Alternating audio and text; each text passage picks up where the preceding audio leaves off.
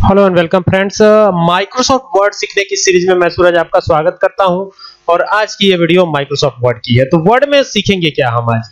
Word में आज खास है। एक ऐसी ट्रिक के बारे में बताने वाला हूँ, जिसमें आप टेबल बहुत ही आसानी के साथ इंसर्ट कर पाएँगे। ठीक है? तो अगर आप टेबल इंसर्ट करना चाहते हैं तो यहाँ पर लिखिए प्लस फिर लिखिए माइनस इस तरह से फिर लिखिए प्लस फिर लिखिए माइनस कुछ इस तरीके से फिर लिखिए प्लस फिर लिख दीजिए माइनस और फिर प्लस और फिर इस तरीके से माइनस लिख दीजिए और फिर प्लस लिख दीजिए। अब आपको कुछ नहीं करना सिंपली आपको प्रेस करना है एंटर तो जैसे ही एंटर प्रेस करेंगे तो ये देखिए, यहाँ पर ये टेबल क्रिएट हो गई, ठीक है? और अब मान लीजिए कि आपको आगे भी, नीचे भी और क्रिएट करना है तो आपको क्या करना है?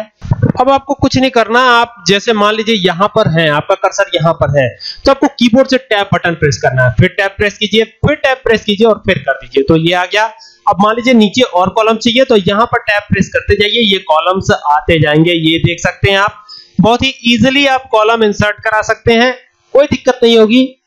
ये तो हो गया, लेकिन मान लीजिए इन दोनों रोज के बीच में, अब देखिए यहाँ पर एक है, यहाँ पर मैं लिख देता हूँ फ़र्स्ट ये लिख दिया मैंने फ़र्स्ट ठीक है? और ये मान लीजिए लिख दिया मैंने सेकंड तो ये फ़र्स्ट और सेकंड के बीच में आपको अगर एक कॉलम और बनाना है तो आप यहाँ कर्सर को रख लीजिए और आप प्रेस कीजिए एंटर तो यहाँ पे देख सकते हैं, यहाँ पे ये थर्ड वाला बन गया है अपने आप ये थर्ड लिख देता हूँ मैं।